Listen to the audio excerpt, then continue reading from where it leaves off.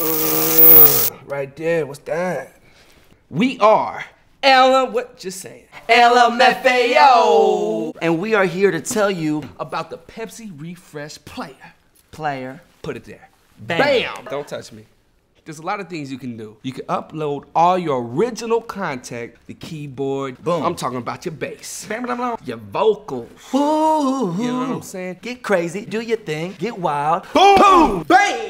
And play along with our song La La La. Also, what they can do, Okay.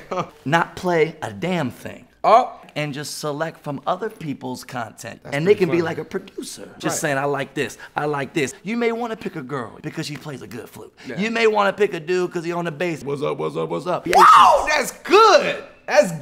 For the people that doing the real stuff, Right. play your own stuff. Don't Jack. Give back. Give back. You Don't see Jack. Because at the end of the whole thing, they're gonna make a master song. Who gonna do it? will.i.am from the Black Eyed Peas. Oh, blackout beats, blackout beats. Because you know it's gonna be the biggest thing in the world. You know? it's Yeah, the biggest yeah. song ever. What you need to do is go to the theultimaterefresh.com. Do your thing, play around, and refresh the game. You might want to refresh your breath because it's kind of.